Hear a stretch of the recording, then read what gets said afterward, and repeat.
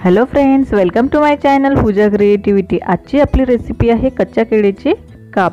आणि ते सुद्धा फ्राय केलेले. हे बनतात सुद्धा झटपट आणि लागतात सुद्धा खूप टेस्टी चला तर वळूया आजच्या आपल्या रेसिपीकडे त्यासाठी इथे मी अर्धा किलो कच्ची केळी घेतलेली आहे. त्याची अशा प्रकारे आपण साल काढून घेऊया. अशा प्रकारे आपण सर्व केळीची साल काढून घेतल्यानंतर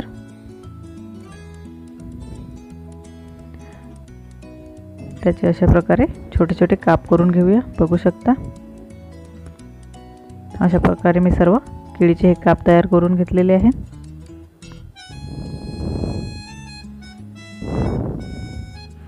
त्यानंतर आता आपण याला एका मोठ्या बाउलमध्ये काढून घेऊया.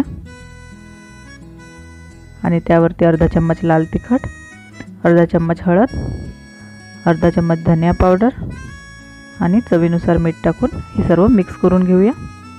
अशा प्रकारे आपण हे हाताच्या सहाय्याने किंवा चम्मचच्या सहाय्याने व्यवस्थित मिक्स केल्यानंतर याला दहा मिनटासाठी साईडला ठेवूया.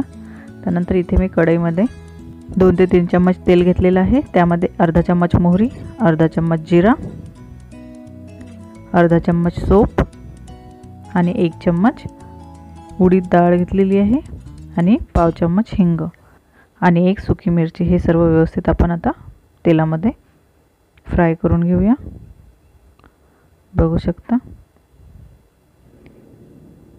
त्यानंतर आपण आता यामध्ये ॲड करणार आहोत पाच ते सहा कढीपत्त्याचे पानं. तेही तेलामध्ये व्यवस्थित होऊ देऊया. आणि आता आपण यामध्ये टाकणार आहोत केळीचे काप. आणि याला व्यवस्थित तेलामध्ये मिक्स करून घेऊया.